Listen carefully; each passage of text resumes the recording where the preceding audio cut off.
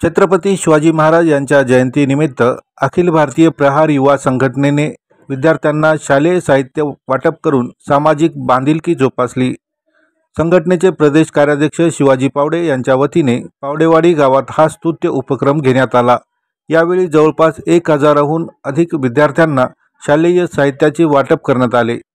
कार्यक्रमाला जिजाऊ सृष्टीचे संकल्पक अविनाश कदम पोलीस उपअधीक्षक सुशील कुमार नायक कृषी विभागाचे गुणनियंत्रक अधिकारी बाळासाहेब गिरी छावा संघटनेचे जिल्हाध्यक्ष दशरथ कपाटे यांच्यासह इतर मान्यवरांची उपस्थिती होती. शिवाजी पावडे यांच्या वतीने मागील पाच वर्षापासून हा उपक्रम राबवला जात आहे. आतापर्यंत विधवा महिलांना शिलाई मशीन गरजू शेतकऱ्यांना बी बियाणे वाटप आदी स्तुत्य उपक्रम घेण्यात आले आहे.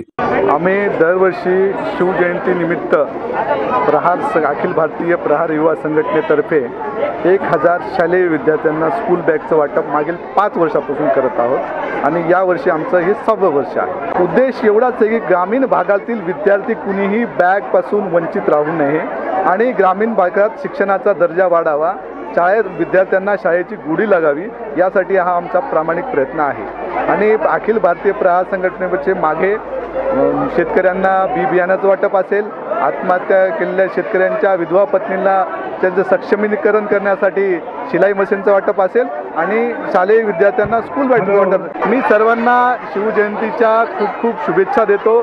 सर्वांना शिवजयंतीच्या निमित्ताने खूप खूप शुभेच्छा. शिवजन्मोत्सवानिमित्त एक हजार शालेय विद्यार्थ्यांना स्कूल बॅग आणि शैक्षणिक साहित्याचं आमच्या प्रहार युवा संघटनेतर्फे अखिल भारतीय प्रहार युवा संघटनेतर्फे दरवर्षी आम्ही हा उपक्रम राबवत असतो. यावर्षीचं हे सहावं वर्ष आहे.